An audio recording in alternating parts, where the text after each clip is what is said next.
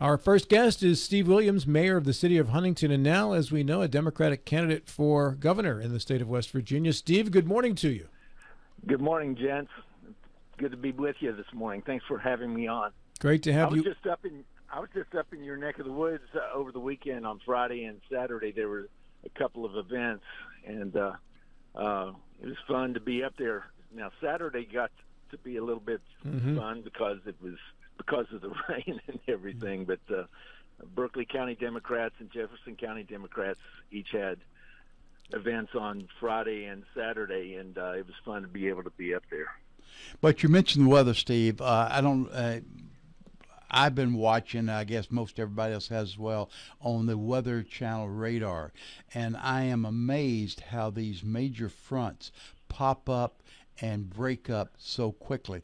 We in northern part of Martinsburg were, for the most part, in a shadow uh, compared to what other were uh, just to the west of us and to some degree to the east of us, major major sales, and yet we we miss the bulk of it. We've we've had a lot of difficulty with with that in the last two three years in, in Huntington. Microstorms just showing up. There was one, I think it was two years ago. Uh, microstorm came over right in the downtown area and had five inches of rain in 30 minutes Wow. if you can imagine. And uh, no matter what kind of a stormwater system that you might have, and sadly, in one of the areas where it, it hit, we didn't have a storm water system, and uh, um, flooding uh, started uh, uh, occurring, and uh, that's why it's important for us to be constantly building our infrastructure, which we haven't been able to do over the decades, but now we do have that capacity. Does that include uh, uh, water rescue capabilities, Steve? Yes. Um, the, the, it, it's complex, but uh, you have EMS. Uh, we have our, our fire department, and uh, uh, all of that fits under Homeland Security. Fortunately, our fire chief was the deputy secretary of Homeland Security for Southern West Virginia, so he has connections everywhere. What what was so what I was so fearful about uh, two years ago is that uh, I can't remember which hurricane was making its way through, but the day before it was supposed to come in, um, we have a flood wall around Huntington that was built back in 19 in the late 1930s, and uh, what I was most fearful of is that if our pumps go out, then we are just hosed. Uh, there would be a major part of Huntington would have been under underwater. We were trying to find a huge um, generator to be a backup just in case. Fortunately, unfortunately, we weren't able to find one. Fortunately, it didn't hit us head on, um, and we have now acquired a big generator, and it's the size of a uh, uh, a coal um, coal car, and uh, it's just humongous, and it's amazing as you start to look at all of the integration of the different departments. Uh, it's not just it, it's not just um, first responders. It takes public works and everybody else. Uh, it takes the entire community to be able to come together. Steve, let's talk about this decision to run for governor. Obviously, you've been uh, kicking the tires on this one for a while before you finally decided to go uh, completely public with it. Now we know uh, January's still off, of course, for official filing and whatever. But uh, if you decided to kind of go all in on this, tell me about the process of getting there. Well, and and interestingly, Rob, I mean, you all have followed it from the very beginning, where I was, or very early in the process, where I was saying I'm leaning. I'm pretty sure I'm going and Mhm. leaning so far that I'm practically falling over. um, the process hasn't uh, actually been completed yet. I have to file my pre-candidacy papers, and I'm going to do that in October because I'm not going to file here and have only about three weeks of activity to be able to show, and then the headlines will be Williams raises five, raises five dollars. You know, so I want to make sure that when we once once we hit October one, is that I've got a bunch of fundraisers set up and having a mechanism for uh, small donors to be able to make their their donations. But the reality is, um, is as we know, Ben Salango was trying to make a decision. Um, everything that I'm looking at, and I'm grateful and really pleased that uh, I'm not going to have to go up against Ben. Um, very well might have to go up against someone. But I've been traveling around the state right now, just as I've indicated. I've been up a few times in uh, your neck of the woods, mm-hmm. um, and this week I'm going to be over in Weirton and in, in other areas. Mostly right now, I'm wanting to listen, but what I'm finding is that the concerns that folks are talking about are the very things that we've had to deal with, much on a much smaller scale, but very directly, and it's had a a, a massive effect on. It could have be either been unbelievably negative that could have thrown us into bankruptcy, or positive where we start to find a pathway out. And fortunately, we've done that, and I think that's something and it's necessary for me at the very least, at the very least, to be in the campaign to be able to uh, tell our story and let folks know there there are alternatives as to how we might be able to approach governing over the next four years. Uh, a year ago at this time, when the state was running some pretty huge surpluses, it would have been difficult I think, to make a case that the state wasn't doing well financially. However, since those surpluses are much lower, some of that, of course, is expected with the income tax cut. Uh, there are more folks who are now beginning to publish polls that there's not as much confidence in the state's economy. Uh, you have other uh, uh groups that are claiming that the uh, the state has to be very careful now in terms of financial footing because of these uh, surpluses that have been dramatically reduced uh, as time has continued along in this new budget year. Steve, so do you find that uh, there's a bit more vulnerability in the Republican Party now than there might have been a year ago in, in terms of how the, the state's taxpayers and citizens are, are viewing it? I think we're vulnerable as a state. I'm not so sure that the Republican Party is vulnerable, nor do they even think that they're vulnerable, and that's that's understandable given uh, their position right now in in the body politic with, with, within the states within the state. But my, my concern is is that the surplus was because there's so much more money that came in through the CARES Act, so much money came in through Rescue Plan and others.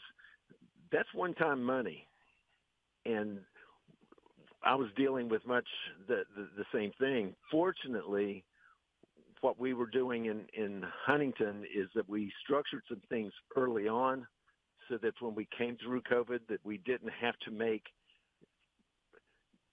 make use of the CARES Act, make use of all of the other rescue plan money. Um, we didn't have to balance our budget with, with those. We already had our budget balanced and when you have one-time money, you need to have one-time expenses.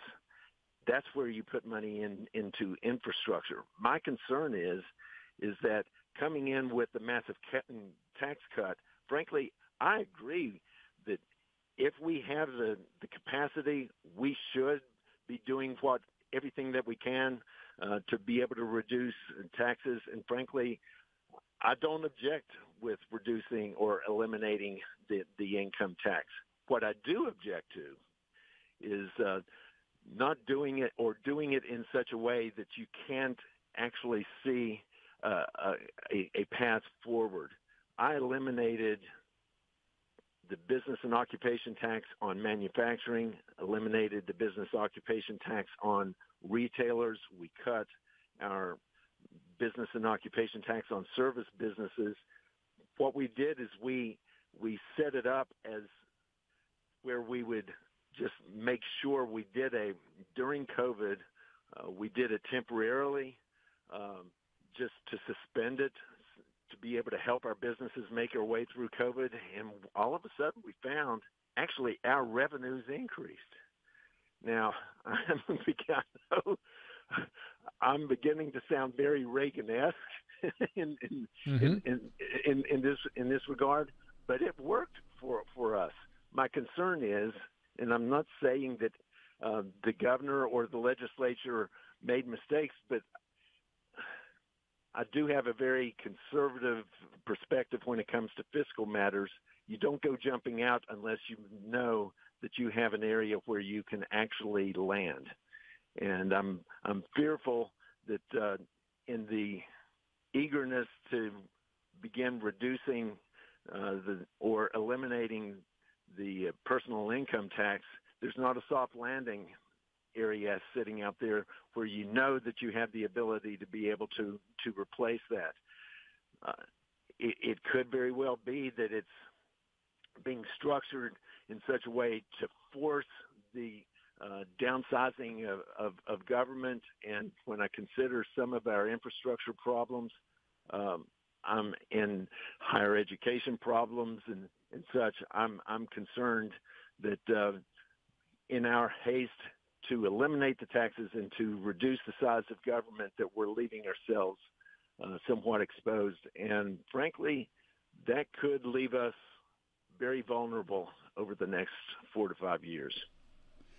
Yeah. Uh, Steve, uh, are there specific areas that you feel that the state is vulnerable just now? You you've made the argument that uh, uh that with the reduction in income tax uh, and the flatline budget, uh, that certain needs are, are probably not being met, uh, unintended consequences. Would you be more specific what some of these might be?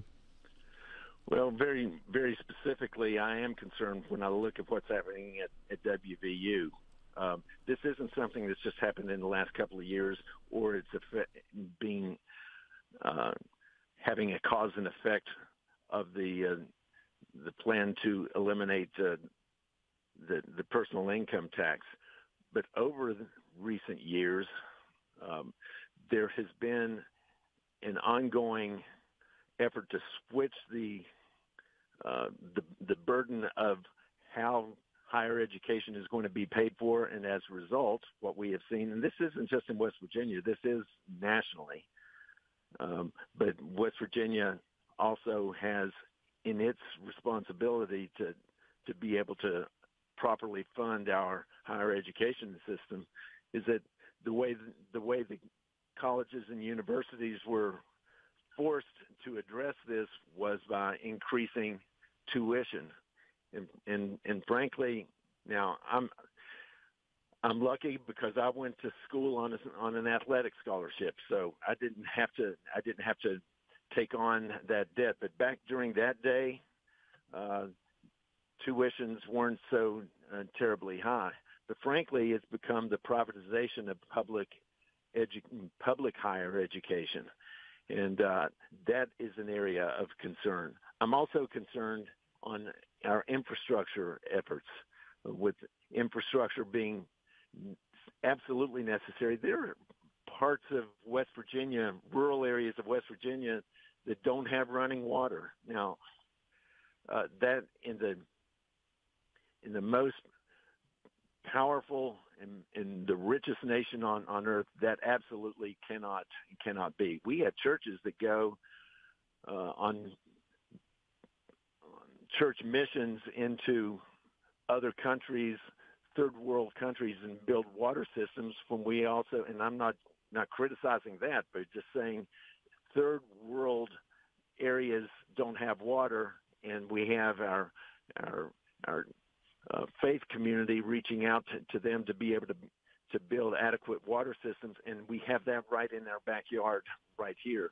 My my biggest concern is is that when I look at education, higher education very specifically, when I look also over in the Eastern Panhandle, is that uh, how we've not been able to be able to address this um, is that there is a market differential. It's a lot more expensive to live in the eastern panhandle than it is in, down in the very southern part of the state. And as a result of that, teachers can go over into Maryland, can go over into Virginia, and be able to get uh, a, a, a large um, boost in, in compensation versus West Virginia. We have to be able to structure ourselves so that we can have a market differential to be able to compete in in that regard. All, it's the same way with police um, and and uh, first responders to be able to do that. So I see once again some areas where this isn't a Democrat or Republican issue. These are these are things that we're dealing with on a on a daily basis, um, regardless of which party is is is in power. But the reality is is that in order to govern, you have to be able to state very clearly, very clearly, this is this is a priority that we must address.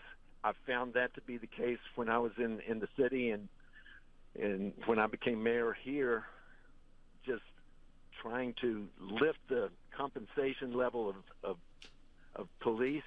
Um, it took us a while, but now our police, out, notwithstanding the Eastern Panhandle, our police are now being funded at. Uh, we have the highest paid police force in in the state of of West Virginia, and it, once again, it's a matter of identifying the issue, owning it, and not just the governor, but the governor has to set the, the standard. This is what we will be doing, and then you start leading in that direction. Steve, does the governor have the power, the executive power, to just simply invoke higher pay for a region of the state?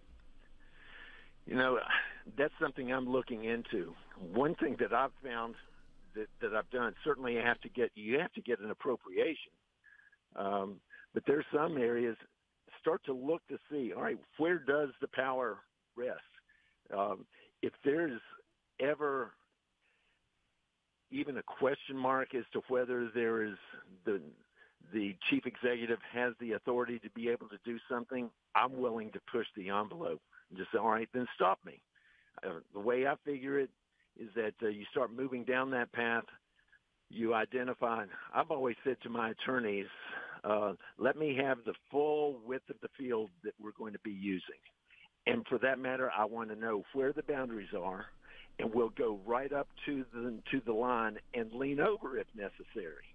Because what we need to do is that the governor has to govern. The key the key is and understand. Let's understand this. There is only one governor. There's 134 members of the legislature, albeit in the House and in the Senate there are a a few who actually lead the charge, but still, there's one governor, and even if it's five senators and five to ten uh, House members, delegates, uh, that's 15 people, but still, there's one governor, and the governor has to set the standard and identify, or identify the vision, articulate the vision, build consensus around the vision, and then act. Steve, uh, are you satisfied with the progress been made on the correctional front and also DHHR in the past year? No. Um, Secretary Sandy is a uh, is a, is a close associate of mine, and we've worked well together. Um, but the fact of the matter is, it feels to me that this is something that's just sitting there saying, "Well, we have to address." and it had it has not had a, um, a, a head-on. Um, what's the way that I want to say it?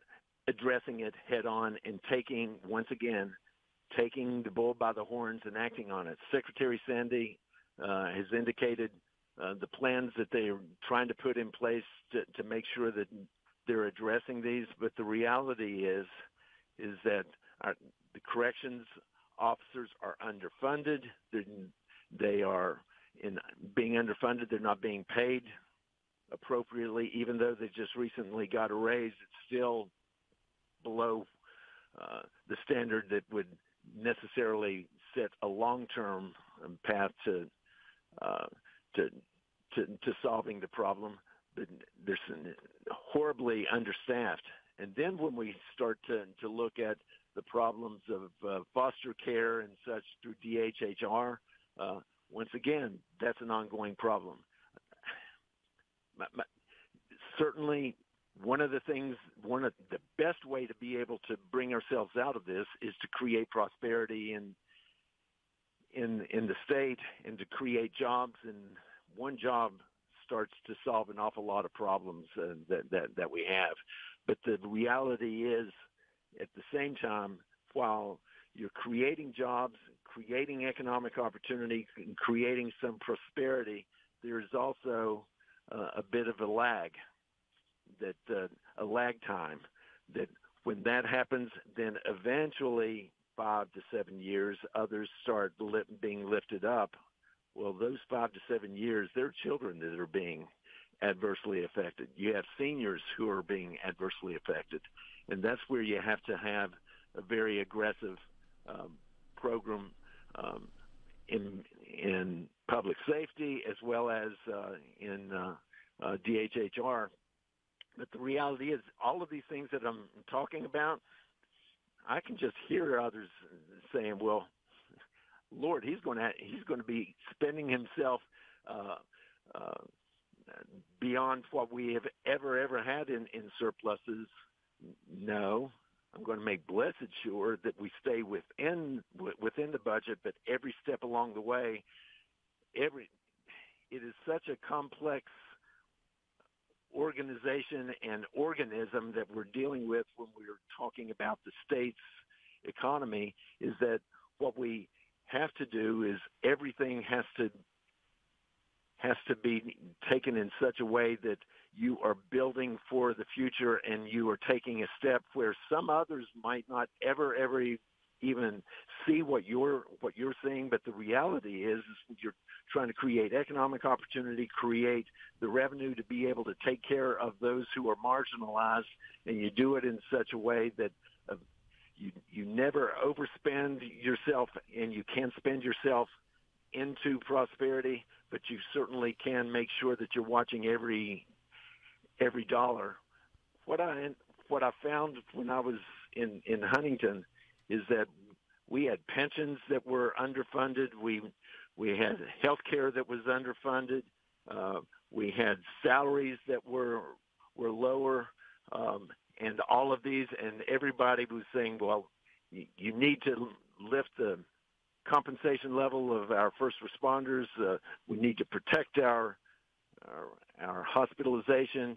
What are you doing to save our our our, our pensions?"